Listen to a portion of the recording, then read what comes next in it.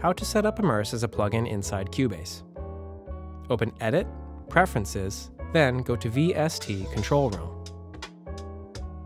Check the option Use Phones Channel as a preview channel. Open Studio, Audio Connections, and set your main stereo output as Not Connected.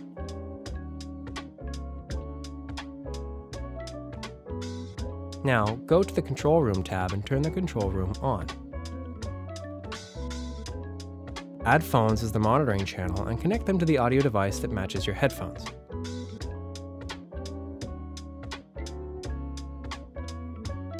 In the control room, go to Inserts and click on Phones.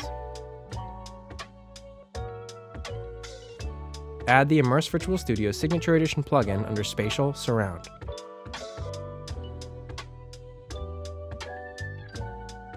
Sign in with your email address and complete your HRTF setup. You can now audition your mix using Immerse as a plugin inside Cubase. Now, let's set that up for a surround sound project in Nuendo. Open Edit, Preferences, then go to VST Control Room.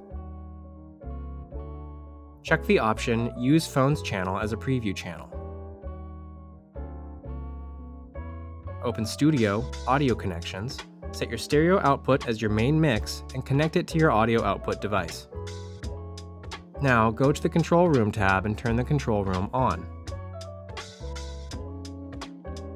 Your main surround sound output should be in the list of available devices for monitoring. Now, go to the control room window and, under Inserts, go to Main Monitor. Verify that it's set to the correct surround sound preset, 5.1 in this example. Add Immerse Virtual Studio Signature Edition, found under Spatial Surround. Sign in with your email address and complete your HRTF setup.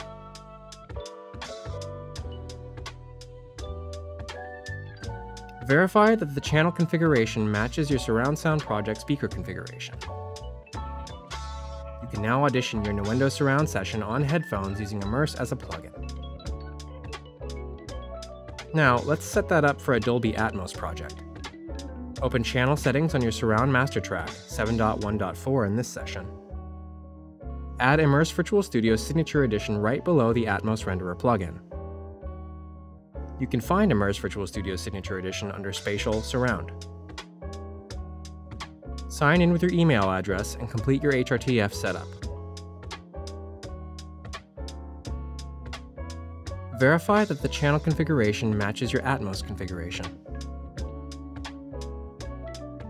You can now audition your Dolby Atmos session on headphones through the Immerse Virtual Studio Signature Edition plugin.